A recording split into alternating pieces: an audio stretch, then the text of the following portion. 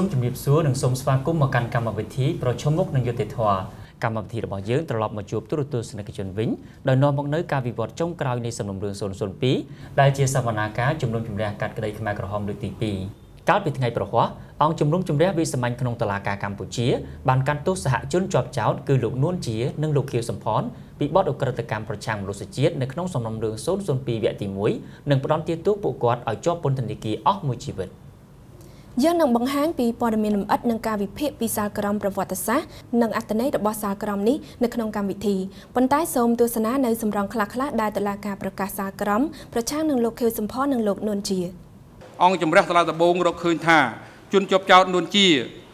មានពិរុទ្ធពីបទអក្រិតកម្មប្រឆាំងនឹងមនុស្សជាតិដែលក្នុងនោះ មាន ការសម្លាប់រង្គាលរួមទាំងការធ្វើមនុស្សឃាតការធ្វើទុកបុកម្នេញដោយមូលហេតុនយោបាយ និងអំពើអមនុស្សធម៌ផ្សេងផ្សេងទៀតរួមមាន ការចម្លៀសដោយបង្ខំការធ្វើឲ្យបាត់ខ្លួនដោយបង្ខំនិងការធ្វើឲ្យប៉ះពាល់ដល់សេចក្តីថ្លៃថ្នូររបស់មនុស្សដែលត្រូវបានប្រព្រឹត្តឡើង នៅលើទឹកដី ប្រទេសកម្ពុជាចន្លោះពីថ្ងៃទី17ខែមេសាឆ្នាំ1975រហូតដល់ខែធ្នូឆ្នាំ1977អង្គជំរះតាឡាដបងរកឃើញថាជនជាប់ចោតគឺសំផនមានពិរុទ្ធពីបទអក្រិតកម្មប្រឆាំងនឹងមនុស្សជាតិ ដែលក្នុងនោះមាន ការសម្លាប់រង្គាលរួមទាំងការធ្វើនុឃាតការធ្វើទុកបុកម្នេញដោយមូលហេតុនយោបាយនិងអំពើអមនុស្សធម៌ផ្សេងផ្សេងទៀតរួមមាន ការចម្លៀសដោយបង្ខំការធ្វើឲ្យបាត់ខ្លួនដោយបង្ខំនិងការធ្វើឲ្យប៉ះពាល់ដល់សក្តិថ្លៃថ្នូររបស់មនុស្សដែលត្រូវបានប្រព្រឹត្តឡើង នៅលើទឹកដី ប្រទេសកម្ពុជាចន្លោះពីថ្ងៃទី17ខែមេសាឆ្នាំ1975រហូតដល់ខែធ្នូឆ្នាំ1977អង្គជំរះ សម្រាប់ផ្ដន់ទាទោសជនជាប់ចោតនួនជា ដាក់ពន្ធនាគារអស់មួយជីវិត អង្គជំរះសម្រាប់ផ្ដន់ទាទោសជនជាប់ចោតខៀវសំផនដាក់ពន្ធនាគារអស់មួយជីវិតប៉ុន្តែទោះបីជាយ៉ាងណាតុលាការក៏បានទទួលស្គាល់ផ្នែកខ្លះនៃការការពីក្តីរបស់លោកខៀវសំផនដែលពាក់ព័ន្ធជាមួយនឹងការទទួលខុសត្រូវផ្នែកព្រហ្មទណ្ឌចំពោះការបញ្ជាលើការប្រព្រឹត្តអ ுக ្រិតកម្មអង្គជំរះជឿជាក់ថាខៀវសំផនមិនបានកាន់ មុខតំណែងដែលមានអំណាចគ្រប់គ្រាន់ក្នុងការចេញបញ្ជាឲ្យប្រព្រឹត្តរកកម្មនានាឡើយដូច្នេះអង្គជំរះបដិសេធការចោទប្រកាន់ដែលថាគាត់បានបញ្ជាឲ្យប្រព្រឹត្តអកតកម្មទាំងទាំងនេះ នៅក្នុងកំឡុងពេលសវនាការជំនុំជម្រះសំណុំរឿង002វគ្គទី1អង្គជំនុំជម្រះសាលាដំបងបានប្រើរយៈពេល222ថ្ងៃអង្គុយស្ដាប់ផុសតាងផ្ទាល់ពីឯកតៈបុគ្គលចំនួន92រូបក្នុងនោះរួមមានអ្នកជំនាញចំនួន3រូបសាកសីអង្គហេតុចំនួន53រូបសាកសីអតចរិកចំនួន5រូបនិងដើមបណ្ដឹងរដ្ឋប្រវេណីចំនួន31រូប តុលាការបានពិនិត្យមើលឯកសាររាប់ពាន់ទំព័រដែលពាក់ព័ន្ធជាមួយនឹងរចនាសម្ព័ន្ធនិងឋានានុក្រមនៅក្នុងរបបខ្មែរក្រហមមានការជំរាបដោយបង្ខំនិងការសម្លាប់អ្នករដ្ឋការរបស់រដ្ឋាភិបាលលន់នល់កម្មវិធីប្រជុំមុខនឹងយុទ្ធធរបានធ្វើដំណើរទៅកាន់សាលាក្តីនៅថ្ងៃប្រកាសសាលក្រមហើយបានធ្វើការសាកសួរប្រជាពលរដ្ឋខណៈពេលដែលពួកគាត់ចូលរួមស្ដាប់ការវិនិច្ឆ័យរបស់តុលាការ។ ព្រឹកនេះគឺជាការប្រកាសសាលក្រមនៅសាលាក្តីខ្មែរក្រហមបន្តិចទៀតនេះលោកខៀវសំផននិងលោកនួនជារួមទាំងមនុស្សនៅក្នុងពិភពលោកទាំងមូលនឹងបានស្ដាប់ឮនៅសេចក្តីសម្រេចរបស់តុលាការដោយសវនាការនេះបានដំណើរការអស់រយៈពេលជាង2ឆ្នាំមកហើយហើយការពិភាក្សាក៏បានចាប់ផ្ដើមតាំងពីការបិទបញ្ចប់នៃសំណុំរឿងកាលពីខែតុលាមកម្លេះ ទស្សនវិជ្ជានេះគឺមានលក្ខណៈជាប្រវត្តិសាស្ត្រដែលមនុស្សម្នាមកពីគ្រប់ទិសទីនៅក្នុងប្រទេសកម្ពុជាបានមកកាន់តុលាការតើមូលហេតុអ្វីបានជាពួកគាត់មកកាន់តុលាការនៅពេលនេះហើយថាតើពួកគាត់សង្ឃឹមថានឹងបានស្ដាប់ឮអ្វីពីតុលាការនៅក្នុងថ្ងៃនេះខ្ញុំសង្ឃឹមថាមិនមិនក៏ដឹងដឹងក្នុងចិត្តថាគេប្រកាសឲ្យជួបជួបទួហើយជួបទួបើ មិនអស់មួយជីវិតក៏20ឆ្នាំបើ20ឆ្នាំក៏ល្អដែរព្រោះតែអាយុគាត់ចាស់ហើយខ្ញុំទទួលថាបានយុទ្ធធម៌ខ្ញុំមកចូលរួមនៅក្នុងកម្មវិធីថ្ងៃនេះខ្ញុំចង់ដឹងអំពីដំណើរការនៃការសម្រេចសាលក្រមរឿង002វគ្គទី1ហើយខ្ញុំចង់ដឹងអំពីតើអ្វីដែលជាសំណងដែលជាលទ្ធផលនៃការកាត់ក្តីមានន័យថាការប្រកាសសាលក្រមនោះទៅកាន់ដែលជនរងគ្រោះដែលគាត់ដែលធ្លាប់ទទួលរងគ្រោះនៅក្នុងរបបខ្មែរក្រហមបាទខ្ញុំចង់ដឹងអំពីការកាត់ក្តីរបស់ខ្មែរក្រហមហ្នឹងគឺការចេញសារក្រមរបស់គាត់តើពេលគាត់ចេញសារក្រមហ្នឹងមកតើប្រជាជនខ្មែរយើងអាចទទួលយកសារក្រមហ្នឹងអត់ចាហើយចង់ដឹង អំពីរបៀបវិរៈក្នុងការកាត់ក្តីខ្មែរក្រហមហ្នឹងមិនដែរហើយខ្ញុំសង្ឃឹមថានឹងទទួលបាននៅការកាត់ក្តីនឹងដ៏ល្អត្រឹមត្រូវមួយនឹងឲ្យប្រជាជនខ្មែរទទួលសំឡងយ៉ាងពេញចិត្តរបស់រូបគាត់ខ្ញុំខំថាអាចប្រជាជនខ្មែរនឹងនឹងអាចយល់ដឹងពីបញ្ហាកាត់ក្តីនឹងឲ្យបានទូលំទូលាយហើយឲ្យគាត់នឹងហ៊ានទទួលយកទោះបីជាសារក្រមនឹងអត់មានលក្ខណៈពេញលេញសម្រាប់រូបគាត់ក៏ដោយក៏អាចក៏ឲ្យគាត់នឹងហ៊ានទទួលបានដែរ តាមរយៈការរំពឹងទុករបស់តុលាការនៅក្នុងការប្រកាសសាលក្រមនាពេលបន្តិចទៀតនេះយើងខ្ញុំនឹងសាកសួរអំពីប្រតិកម្មនិងអារម្មណ៍របស់ប្រជាពលរដ្ឋដែលបានចូលរួមនៅក្នុងព្រឹត្តិការណ៍នេះដោយពិនិត្យមើលថាតើមានរឿងអ្វីកើតឡើងបន្ទាប់ទៀតនៅក្នុងសំណុំរឿងមួយដ៏វែងអន្លាយនេះសាលក្រមទាំងមូលមានរាប់រយទំព័រហើយយើងខ្ញុំនឹងធ្វើការវិភាគពីសាលក្រមនេះនៅក្នុងកម្មវិធីប៉ុន្តែជាបឋមសូមជួបជាមួយនឹងវាគ្មិនកិត្តិយសរបស់យើងគឺលោកមេធាវីសុកសំអឿនដើម្បីស្វែងយល់ពីប្រតិកម្មរបស់គាត់ចំពោះសាលក្រមនេះ ជំរាបសួរលោកមេធាវី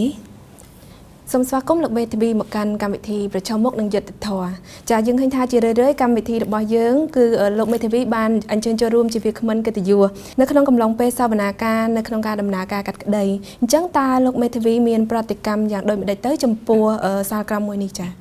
បាទចំពោះសាក្រមមួយនេះខ្ញុំមានការពេញចិត្តយ៉ាងច្រើនហើយចំណុចដែលខ្ញុំពេញចិត្តហ្នឹងគឺថាទី1យើង ឃើញថានៅពេលដែលនីតិវិធីដំណើរការសវនាការហ្នឹងគឺតុលាការនេះបានអនុវត្តឲ្យគ្រប់នៅសិទ្ធិរបស់ជនចចោលសិទ្ធិរបស់ជនរងគ្រោះបានយ៉ាង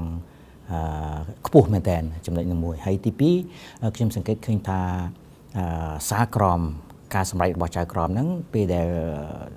តឡាពេលដែលចៅក្រពេលដែលតឡាការធ្វើសេចក្តីសម្រេចចិត្តហ្នឹងគេមានបញ្ជាក់ពីមូលហេតុច្បាស់លាស់ហើយដែលសមហេតុសមផល ហើយដែលយើងអាចស្ដាប់បាននិងទទួលយកបាន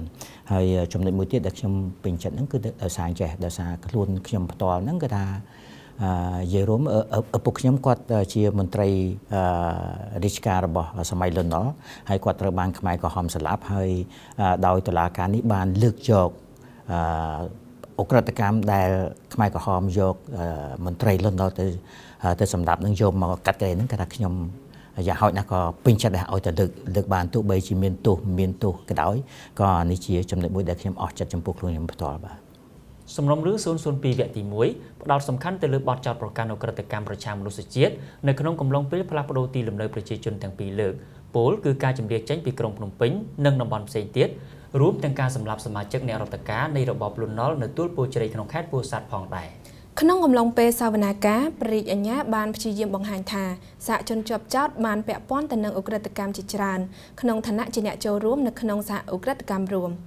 វាជាទ្រឹស្ដីច្បាប់ដែលចងភ្ជាប់សមាជិកនីមួយៗនៃក្រុមឲ្យទទួលខុសត្រូវលើអ ுக ្រិតកម្មដែលប្រព្រឹត្តដោយក្រុមជាផ្នែកនៃគោលបំណងរួមនេះគឺជាអ្វីដែលចៅក្រមនិលននបានថ្លែងពីទួលនីតិជនជាប់ចោតនីមួយៗនៅក្នុងការចាត់ចែងនិងអនុវត្តនៅគោលនយោបាយរបស់ខ្មែរក្រហម អង្គជំរះយល់ឃើញថានួនជា បានរួមចំណែកយ៉ាងសំខាន់ដល់ការធ្វើឲ្យសម្រេចគោលបំណងរួមហើយគាត់មានចេតនាជំរុញការអនុវត្តគោលបំណងរួមនេះ តាមរយៈសកម្មភាពទាំងឡាយរបស់គាត់ដូចនឹងសមាជិកដទៃទៀតនៃសហគិតកម្មរួមដែរគាត់ក៏មានចេតនាប្រព្រឹត្តអំពើអក្រិតដែលពាក់ព័ន្ធទាំងឡាយនេះខៀវសំផនបានទទួលសេចក្តីទុកចិត្តនិងជំនឿពីសំណាក់សមាជិកដទៃទៀតនៃមជ្ឈិមបក ទោះបីជាខៀវសំផនបានកាន់តួនាទីជាច្រើនក្តីប៉ុន្តែផុសតាង បានបង្ហាញថាខៀវសំផនមានសិទ្ធិធ្វើស្តីសម្រេចតែទៅលើបញ្ហាសេដ្ឋកិច្ចនិងពាណិជ្ជកម្មប៉ុណ្ណោះទោះជាយ៉ាងណាខៀវសំផនមានអធិបុលនិងសិទ្ធិអំណាចច្រើន តាមរយៈមុខតំណែងជាន់ខ្ពស់របស់គាត់ខៀវសំផនពិតជាបានដឹងអំពីគោលនយោបាយរបស់បកកុម្មុយនីសកម្ពុជា និងទទួលបានព័ត៌មានអំពីសភាពការទូទៅនៅក្នុងប្រទេសកម្ពុជា លោកមេធាវីនៅក្នុងកំឡុងពេលសវនាការចាទាំងលោកនួនជានិងលោកខៀវសំផនគាត់បានអះអាងថាពួកគាត់មិនទទួលខុសត្រូវផ្នែកច្បាប់ចំពោះអ ுக ្រិតកម្មនានាដែលពួកគាត់ត្រូវបានគេចោទប្រកាន់នោះទេហើយលោកនួនជាបានថ្លែងថាពួកគាត់ ទទួលខុសត្រូវផ្នែកសិលធម៌ចំពោះអ ுக ្រិតកម្មប្រព្រឹត្តនៅក្នុងរបបកម្ពុជាប្រជាធិបតេយ្យហើយនៅក្នុងគណៈពេលដែលលោកខៀវសំផនបានថ្លែងថាគាត់មិនមានអំណាចនៅក្នុងការសម្រេចចិត្តនានានៅក្នុងរបបខ្មែរក្រហមហើយគ្រាន់តែជាឧបនាយករដ្ឋមន្ត្រីខ្យល់អញ្ចឹងតើលោកមេធាវីតើអង្គជំនុំជម្រះសាលាដំបងហ្នឹងថ្លែងយ៉ាងដូចម្ដេចទៅចំពោះការទទួលខុសត្រូវចំពោះពួកគាត់ទៅលើអ ுக ្រិតកម្មនានានោះចា៎គឺមានន័យចេះមានន័យថាទោះបីអ្នកនោះមិនបានប្រព្រឹត្តដោយខ្លួនឯងក៏ដោយ ហើយអ្នកផ្សេងក្នុងក្រុមនឹងធ្វើក៏ដោយក៏ខ្លួនឯងអាចនឹងត្រូវមានទោសដែរហើយពាក់ព័ន្ធការទទួលទៅសហអក្រិតកម្មរួមហ្នឹងគឺមានន័យចេះថាបើសិនជាក្នុងក្រុមហ្នឹងអឺមានអំណាចធ្វើសេចក្តីសម្រេចចិត្តអីមួយហើយយើងបានចូលរួមនៅក្នុងក្នុងក្រុមនឹងដែរហើយទោះបីជាយើងមិនមានគំនិតឬក៏មិនមានមិនបានធ្វើសេចក្តីសម្រេចចិត្តបែបហ្នឹងក៏ដោយក៏ប៉ុន្តែបើសិនជាយើងធ្វេសប្រហែស មិនព្រមឲ្យយោបល់ឬក៏ទប់ស្កាត់អី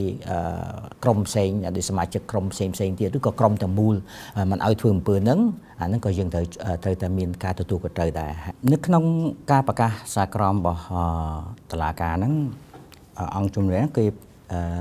លោកបានប្រកាសហើយជាពិសេសចែកនៅក្នុងសារក្រមតែម្ដងអឺអង្គជំនឿហ្នឹងបានយល់ឃើញថានៅក្នុងអំឡុងពេលដែល ពាក់ព័ន្ធនៅក្នុងសំណុំរឿង002/1ហ្នឹងក៏ថាតឡាការយល់ឃើញថាមានសហអក្រិតកម្មរួមដែលបានកើតឡើងហើយដែលបានអនុវត្តឡើងដើម្បីសម្រេចគោលបំណងរួមហើយក្នុងនោះអង្គជំនុំនេះយល់ឃើញថាការធ្វើមន្ទូសជាតិការសម្លាប់នៅទួលពោជ័យនឹងគឺជាអក្រិតកម្មប្រឆាំងមនុស្សជាតិហើយដែលហើយដែលនៅក្នុងនោះដែលអ្នកទាំងពីរនួនជានិងខៀវសំផនហ្នឹងក៏បានចូលរួមក្នុងការសម្រេចចិត្តធ្វើឲ្យអាការសម្លាប់ហ្នឹងបានសម្រេចផល នេះតឡាការគាត់ឃើញអញ្ចឹងណាលោកមេធាវីពេលនេះយើងទទួលបាននៅសាលក្រមហើយពួកគាត់ត្រូវបានគេរកឃើញថាមានប្រតិភិបនៅក្នុងអ ுக ្រិតកម្មប្រឆាំងមនុស្សជាតិអញ្ចឹងតើនេះគឺជាអ្វីដែលលោកមេធាវីរំពឹងទុកដែរទេចា៎បាទតាមពិតដូចអ្វីដែលខ្ញុំរំពឹងទុកអញ្ចឹងពីព្រោះហេតុអីពីព្រោះថាទី1អឺអឺករណី002/01ហ្នឹង គឺគេចោតប្រកាន់វិបត្តិអក្រិតកម្មប្រចាំមនុស្សជាតិហ្នឹងទី1ណាហើយដូច្នេះយើងគ្រាន់តែគិតថាតើអាចមានភ័ស្តុតាងគ្រប់គ្រាន់ដើម្បីបង្ហាញថាអ្នកទាំងពីរហ្នឹងត្រូវមានទោសវិបត្តិហ្នឹងអត់ហើយក្នុងក្នុងរឿងការចោតប្រកាន់ក្នុងរឿងក្តីនេះវាមានតែចំណុច2ទេក្រៅទី1រឿងថាតើអង្គើនោះអង្គើស្អីស្អីដែលគេលើកឡើងហ្នឹងតើជារឿងអក្រិតកម្មប្រចាំមនុស្សជាតិអត់ហើយបានទី2តើអ្នកទាំងពីរហ្នឹងជាប់ពាក់ព័ន្ធទទួលខុសត្រូវឬអត់ ដូច្នេះចំពោះរឿងទី1ដែលថាតើអង្គើទាំងអស់នោះជាអក្រិតកម្មប្រឆាំងមនុស្សជាតិនរណាក៏គិតថាជារឿងអក្រិតកម្មប្រឆាំងមនុស្សជាតិដែរហើយដូច្នេះយើងជឿថាប្រកាសជាមានភ័ស្តុតាងគ្រប់គ្រាន់ហើយក្នុងការបង្ហាញនឹងហើយរឿងភ័ស្តុតាងសាកសីស្អីមិនខ្វះទេហើយក៏ប៉ុន្តែនៅសល់តែបញ្ហារឿងថាតើអ្នកទាំងពីរហ្នឹងពាក់ព័ន្ធទទួលខុសត្រូវដែរឬអត់ក៏ប៉ុន្តែដោយសារតុលាការយកទ្រឹស្ដីសហអក្រិតកម្មរួម យើងឃើញថាមានការធូរស្រាលបន្តិចយើងរួមទៅខ្ញុំដឹងរួចទៅហើយខ្ញុំគិតរួចថាអ្នកទាំងពីរប្រកាសជាត្រូវទទួលពីរដ្ឋភាពហើយបាទនៅក្នុងកំឡុងពេលសវនាការក្រមការពីក្តីបានតវ៉ាថាការជំរាបប្រជាជនចេញពីទីក្រុងភ្នំពេញនិងតំបន់ផ្សេងទៀតគឺធ្វើឡើងដោយសន្តិភាពនិងស្ម័គ្រចិត្តដោយគ្មានការបង្ខំសូមស្ដាប់លោកចៅក្រមនិលណុនអានសារក្រមបន្តទៀតព្រោះលោកបានថ្លែងផ្ដោតទៅលើសំណួរសំខាន់មួយនេះអង្គជំនុំជម្រះសាលាដំបងរកឃើញថាយ៉ាងតិច ក៏មានប្រជាជនចំនួន2លាននាក់ត្រូវបានកងទ័ពខ្មែរក្រហមបង្ខំឲ្យចាក់ចេញពីទីក្រុងភ្នំពេញដោយប្រើប្រាស់លេសកុហកបោកបញ្ឆោតនិងការគំរាមកំហែងភាកច្រើនដោយប្រើកំភ្លើងភ្ជុងដោយសឹងតែគ្មានប្រាប់ជាមុនហើយធ្វើឡើងក្នុងកលៈទេសៈមានការភ័យរន្ធត់និងដោយមានអំពើហិង្សា ដែលបណ្ដាលឲ្យប្រជាជនជាច្រើនត្រូវបានសម្លាប់ ឬបានស្លាប់ដោយសារការហេវហត់អស់កម្លាំងខ្លាំងការអត់អាហារឬជំងឺផ្សេងផ្សេងអង្គជំរះមិនជឿលើការលើកឡើងរបស់មេធាវីការពីក្តីដែលថា ការជំលះប្រជាជន ចេញពីទីក្រុងភ្នំពេញ គឺដើម្បីការពារសវត្ថិភាពប្រជាជនពីការទម្លាក់ក្របែករបស់អាមេរិកការសន្និដ្ឋានសំហេតុផលតែមួយគត់គឺថាដោយផ្អែកទៅលើបទពិសោធន៍និងការអនុវត្តពីមុនរបស់បក ក្នុងការជំលះប្រជាជន ចេញពីតំបន់ដទៃទៀតនិងសម្រាប់ហេតុផលយោធាសេដ្ឋកិច្ចនិងមនោគមវិជ្ជានោះថ្នាក់ដឹកនាំបានសម្រេចចិត្តជំលះប្រជាជន ចេញពីទីក្រុងភ្នំពេញដើម្បីឲ្យថ្នាក់ដឹកនាំអាចគ្រប់គ្រងប្រជាជនបានល្អនិងការពារកុំឲ្យខ្មាំងបង្កអស្ថិរភាពដល់កងទ័ពបកកុម្មុយនីសកម្ពុជា នៅក្នុងកំឡុងពេលសវនាការភាគីទាំងអស់បានស្នើសុំអង្គជំនុំជម្រះ ដាក់បញ្ចូលនៅការសម្លាប់អ្នករដ្ឋការរបស់របបលន់នល់នៅទួលពោជ្រៃក្នុងខេត្តពោធិ៍សាត់នៅក្នុងវិសាលភាពនៃសវនកម្មទី1នេះផងដែរការចោទប្រកាន់ទាំងនេះត្រូវបានលោកនួនជានិងលោកខៀវសំផនប្រកែកយ៉ាងដាច់អហង្ការអង្គជំនុំជម្រះយល់ឃើញថាភ្លាមភ្លាមបន្ទាប់ពីថ្ងៃទី17ខែមេសាឆ្នាំ1975យ៉ាងតិចណាស់ក៏មានអ្នករដ្ឋការនៃរបបលន់នល់ប្រមាណ250នាក់ត្រូវបានគេដឹកពីខេត្តពោធិ៍សាត់ ទៅទួលព្រួយជ្រៃហើយសម្លាប់ចោលនៅទីនោះ ការសម្លាប់នោះត្រូវបានធ្វើឡើងដោយកងទ័ពខ្មែរក្រហមមកពីភូមិភាគពីយប់ជនរងគ្រោះដែលរួមទាំងអ្នករដ្ឋការនិងទាហានលន់នល់នៃរបបមុនដែលបានចោះចាញ់ហើយមិនបានចូលរួមក្នុងការក្នុងសកម្មភាពប្រឆាំងណាមួយផងនោះត្រូវបានគេកំណត់មុខសញ្ញាស្របតាមគោលនយោបាយរបស់បកកុម្មុយនីសកម្ពុជា ហើយក្រោយមកយកទៅសម្លាប់ដោយកប់ចោលនៅ ទួលពូជ័យឬត្រូវបានរុញបញ្ចូលទៅក្នុងស្រះដោយប្រើប្រាស់គ្រឿងចាក់ដែលបញ្ជូនមកពីគណៈកម្មាធិការភូមិភាគអញ្ចឹងលោកមេធាវីតើតឡាការរកឃើញអ្វីខ្លះនៅពេលដែលនិយាយពីការសម្លាប់នៅទួលពោជ្រៃនោះបាទការសម្លាប់នៅទួលពោជ្រៃហ្នឹងគឺថាតឡាការគេរកឃើញចែក្រានៅក្នុងបន្ទាប់ពីខ្មែរក្រហមបានឈ្នះហើយគឺនៅថ្ងៃទី17មេសាឆ្នាំឆ្នាំ1975ហ្នឹងពេលនោះគណៈកងទ័ពខ្មែរក្រហមបានយក មន្ត្រីហើយនឹងទាហានសម័យលន់នល់ហ្នឹងប្រហែលជា250នាក់យកទៅកន្លែងទួលពោជ័យហ្នឹងយកទៅសម្លាប់ហើយនៅក្នុងនោះគឺថាគេមានការរៀបចំរួចជាស្រេចដល់ចឹងចំណុចនេះតង់នេះហើយដែលតឡាការគិតថាជារឿងដែលវាផ្ទុយពីមនុស្សមនុស្សធម៌វាអត់មានមនុស្សធម៌វាគឺជាអក្រិតកម្មប្រឆាំងមនុស្សជាតិហើយការស្លាប់នោះទៀតសោគឺថាអ្នកទាំងអស់នោះអត់មានកំហុសអីទេ យើងរួមទៅមន្ត្រីមន្ត្រីរាជការខ្លះហ្នឹងក៏អត់បានទៅធ្វើសង្គ្រាមឬក៏ធ្វើអក្រិតកម្មអីធំដុំទេហើយទាំងអស់គ្នាទាំងទាហានទាំងអីគឺសុទ្ធតែបានដាក់អាវុធចោះចូលជាមួយនឹងរបបខ្មែរក្រហមរួចហើយក៏ប៉ុន្តែបែរជាខ្មែរក្រហមយកអ្នកទៅទៅសម្លាប់វិញហើយសម្លាប់ដោយសាហាវហើយដូច្នេះបានជាតឡាការគឺថានេះជាអំពើអក្រិតកម្មប្រឆាំងមនុស្សជាតិ មុននេះជាទស្សនៈរបស់វាគ្មិននៅក្នុងស្ទីឌីយ៉ូប៉ុន្តែតើសាធារណជនដែលប្រមូលផ្ដុំគ្នានៅក្នុងសាលាក្តីខ្មែរក្រហមដើម្បីស្ដាប់ការប្រកាសសាលក្រមមានប្រតិកម្មយ៉ាងដូចម្ដេចខ្លះនោះលោកថុលងន្ថៃនៅទីនោះដើម្បីសាកសួរពីប្រតិកម្មរបស់ពួកគាត់ ចាប់តាំងពីព្រឹកព្រលឹមនៅក្នុងសាលាក្តីខ្មែរក្រហមយើងខ្ញុំបានសាកសួរប្រជាពលរដ្ឋថាតើពួកគាត់រំពឹងថានឹងបានស្ដាប់ឮអ្វីពីតុលាការហើយដូច្នេះថាតើសាធារណជនវិញយល់ឃើញយ៉ាងដូចម្តេចចំពោះសេចក្តីសម្រេចវិនិច្ឆ័យនេះថាតើវាជាអ្វីដែលពួកគេសង្ឃឹមថានឹងបានស្ដាប់ឮមែនដែរឬទេក្នុងនាមជាដើមមិនដឹងរដ្ឋបវេណីនេះគឺមានការសប្បាយចិត្តព្រោះឃើញថាយុត្តិធម៌យើងបានទទួលហើយដោយសារជនរងគ្រោះ ត្រូវបានទទួលនៅទង្វើដែលគាត់បានប្រព្រឹត្តហ្នឹងគឺជាប់ពន្ធនាគារអស់មួយជីវិតចាការមិនទាន់បានស្ដាប់សារក្រមហ្នឹងគិតថាដូចជាអត់មានយុត្តិធម៌សោះព្រោះឃើញថារយៈកាលនៃការកាត់ក្តីនេះវាយូរមកហើយរហូតដល់ដើមមិនដឹងយើងមួយចំនួនបានលាចាកលោកនៅទីអស់ហើយមើលតាមចិត្តខ្ញុំយល់កាត់ទៅអស់មួយជីវិតក៏ខ្ញុំមិនពេញចិត្តដែរខ្ញុំចង់ឲ្យកាត់ទោសមក100ឆ្នាំ ទុកជាគាត់ស្លាប់ទៅក៏ត្រូវតែដាក់ខ្នោះគាត់ដែរខ្ញុំគិតថាការសេចក្តីការកាត់សេចក្តីនេះមានលក្ខណៈយុត្តិធម៌ត្រឹមត្រូវដោយសារទី1អាយុរបស់គាត់បានចាស់ទៅហើយបើសិនជាការកាត់សេចក្តីនឹងរយៈពេលខ្លីអាចតា20ឆ្នាំ100ឆ្នាំហើយគាត់ចាស់ហើយនឹងអញ្ចឹងមានន័យថាគាត់មិនអាចរស់នៅយូរដើម្បីបន្តការកាត់សេចក្តីរហូតដល់ចប់នឹងការសម្រេចរបស់តុលាការនៅថ្ងៃនេះគឺ ឲ្យជនជាប់ចោតនឹងជាប់គុកអស់មួយជីវិតនឹងគឺខ្ញុំពេញចិត្តណាស់រហូតដល់ពេលដែលខ្ញុំចុះមកខ្ញុំទុកទឹកភ្នែកមិនបានអានេះការរងចាំរបស់ខ្ញុំអស់ពេលជាង30ឆ្នាំមកហើយបាទលោកនេតពេត្រាគឺជាអ្នកនាំពាក្យនៃសាលាក្តីខ្មែរក្រហមកំពុងតែស្ថិតនៅជាមួយនឹងយើងខ្ញុំនៅក្នុងសាលាក្តីសាលក្រមនេះមិនមែនជាសាលក្រមបញ្ចប់ទេ គឺជាសាលក្រមមួយដែលចេញពីអង្គជំនុំជម្រះសាលាដំបង បើសិនជាភាគីណាមួយនៅក្នុងចំណោមភាគីព្រះរាជអាជ្ញាភាគីជនជាប់ចោតមិនពេញចិត្តចំពោះសារក្រមនេះគឺពួកគាត់អាចដាក់ពាក្យបណ្ដឹងសារទុកទៅកាន់អង្គជំនុំជម្រះតុលាការកំពូលហើយគាត់មានរយៈពេល72ម៉ោងនៅក្នុងការដាក់ពាក្យបណ្ដឹងនេះទៅកាន់អង្គជំនុំជម្រះតុលាការកំពូលបង្ហាញអំពីការមិនពេញចិត្តគាត់ចំពោះសារក្រមនេះសំណុំរឿង002នេះមិនទាន់បានបញ្ចប់ទេ ការចេញសារក្រមនៅ002វគ្គ1មែនក៏ប៉ុន្តែវានៅមាន002វគ្គ2ទៀតដែលអង្គជំនុំជម្រះសាលាដំបងបានបើកសវនាការរួចមកហើយសវនាការបឋមហើយក្រុងនឹងបើកសវនាការលើអង្គសេចក្តីនៅក្នុងសំណុំរឿង002វគ្គ2នេះនៅអំឡុងចុងខែកញ្ញាឬមួយក៏ដើមខែតុលាឆ្នាំ2014ខាងមុខបាទ លោកមេធាវីយើងឃើញថាមនុស្សជាច្រើនដែលទស្សនាកម្មវិធីរបស់យើងនេះប្រហែលជាគិតថាហេតុអ្វីបានជាយើងផ្ដល់ឱកាសដល់សហជនជាប់ចោតនៅឱកាសជាច្រើនដើម្បីធ្វើការបកស្រាយតវ៉ាហេតុអីបានជាផ្ដល់ឲ្យពួកគាត់នៅអ្វីដែលជនរងគ្រោះក្នុងរបបខ្មែរក្រហមនឹងមិនទទួលបាននៅក្នុងរបបនោះអញ្ចឹងយើងចង់ដឹងថាហេតុអីបានជាដំណើរការច្បាប់នឹងតម្រូវឲ្យធ្វើបែបនេះយើងមិនអាចទៅធ្វើឲ្យដូច ពួកគេធ្វើដាក់អដែងអ្នករងគ្រោះសម័យខ្មែរក្រហមអញ្ចឹងទេហើយដូចជាយើងអត់ចង់ធ្វើតាមនឹងទេ ហើយម្យ៉ាងទៀតគឺយើងចង់ឲ្យក្នុងសង្គមខ្មែរយើងនឹងគិតគូរពីសិទ្ធិសេរីភាពរបស់ប្រជាពលរដ្ឋរបស់ជនចោចចោតរបស់ជនគ្រោះមុននឹងសម្រាប់ចិត្តដាក់ទោសអ្នកណាម្នាក់ម្នាក់គឺត្រូវតែមានការកាត់ក្តីដោយត្រឹមត្រូវ